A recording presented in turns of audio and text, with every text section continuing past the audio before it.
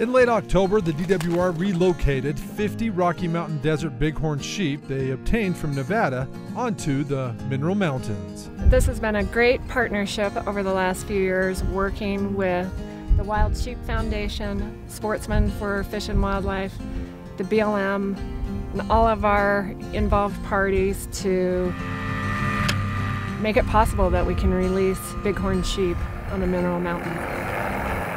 The DWR has been involved in a conservation program over the last 40 years to restore bighorn sheep to their native habitat.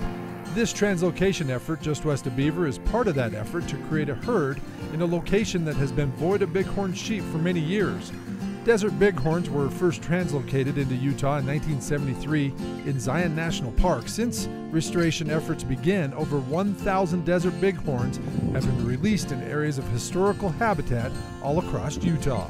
For more information on wild sheep or any other critter found in Utah, check out our Utah Field Guide on our outdoors page at ksltv.com.